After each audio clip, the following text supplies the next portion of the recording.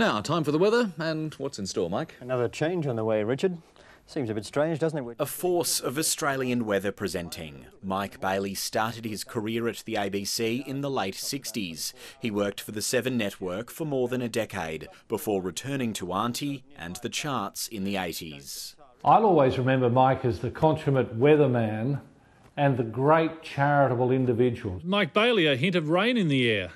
Yes, Tony, and not before time. He became a trusted voice of ABC's New South Wales Nightly Bulletin. Former managing directors described him as the best. ABC presenters today paying tribute. Mike Bailey was a down to earth, warm, funny guy. He was an absolute gentleman with a lovely sense of humour. He was superb at his craft and was a genuinely nice man. He was very good at, at telling people about the weather in meteorological terms and in layman's terms. And it was great because he, he became part of the family. Hello, nice to meet you.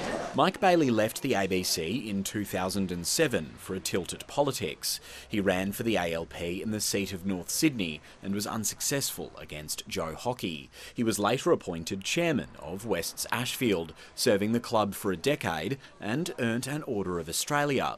Mike was a mentor, a friend, and a beautiful human being. And for generations of ABC viewers, the man who helped you plan your week. A further shower possible on Monday. Bonita. Thanks for that, Mike. Mike Bailey is survived by wife Helena and son Michael.